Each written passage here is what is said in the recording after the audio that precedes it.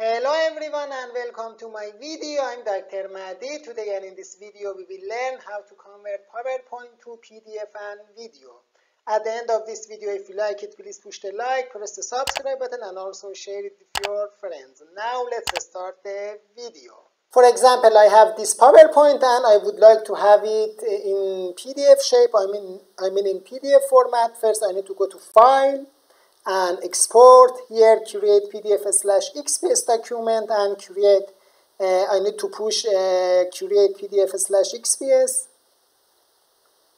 and uh, first we need to select the location. I mean the place that we want to have our pdf for example I would like to have it on my desktop. I select desktop and here we need to select the name for uh, our pdf for example my uh, presentation something like this and here we have two options uh, standard and minimum size. Here we can select the quality level. When we select standard definitely quality will be high but uh, it will take too much space and it's better to select minimum size. Definitely when we select minimum size quality should be worse compared to standard. But anyway it will take uh, it doesn't take too much space.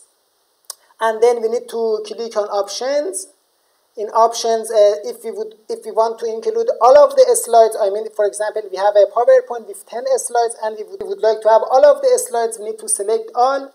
But sometimes, for example, we would like to have only one slide in, uh, in, in, the format of PDF. Uh, we are in uh, slide number 5 and we would like to have only this slide, I mean current slide. In the format of PDF, we need to select current slide current slide and sometimes we would like to have uh, some slides in the format of PDF. For example, I have a PowerPoint with uh, 10 slides and I would like to have slide number 2, 5 and 7.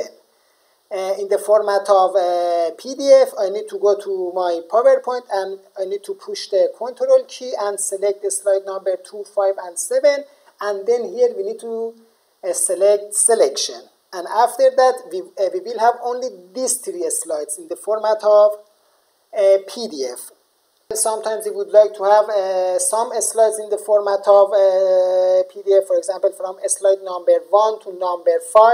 Here we need to select number 1 and to number 5.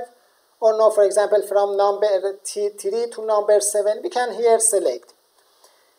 And here in slides, when we select slides, uh, uh, definitely for uh, in every page we will have one slide. I mean, if we have uh, 10, uh, for example, if in our PowerPoint we have 10 slides and now we convert it to PDF, definitely we will have 10 pages.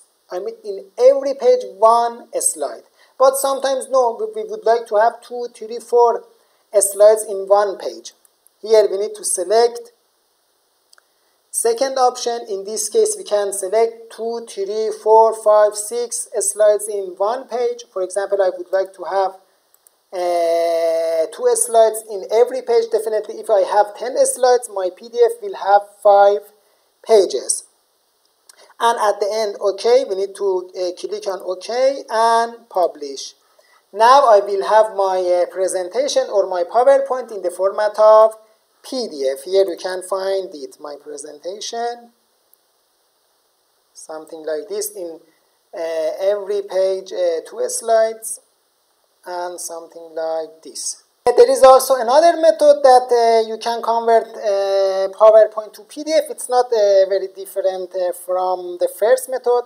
It's a little bit different. Again, you need to go to File and Save As here you need to select the location, I mean the place that you want to have your uh, PDF. For example, desktop, here you can select the name, my uh, presentation 2, for example.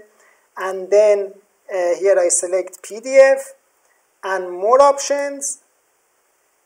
In more options, we have options. From here, it will be similar to the first method. Again, here you can select the quality level and also here options you can go and change if you would like to have for all of the slides in the format of PDF or no one slide some slides. Here you can select and also how many slides in every page. And then OK and at the end save.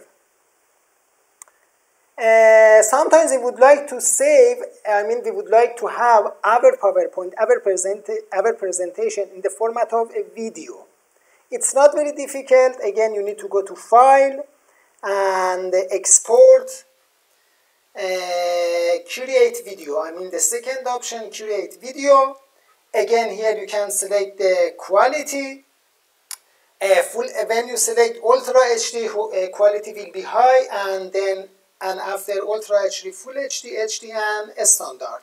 If you have too many slides in your PowerPoint, you can select Full HD or HD because when you select Ultra HD, uh, it will take too much space. Definitely quality for Ultra HD will be better than Full HD or HD. But when uh, you have too many slides and you select Ultra HD, in this case, it will get uh, too much space. Then when, but if you have no, for example, two, three slides, it's better to select Ultra HD Otherwise, try to select Full HD or HD. For example, here I select Full HD and create video.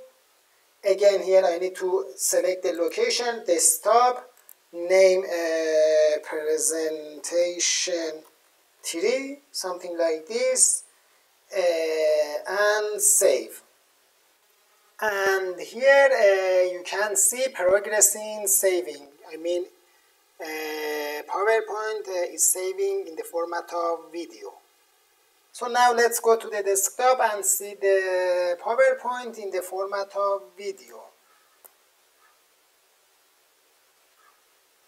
Yeah, now we can see my PowerPoint in the format of a video.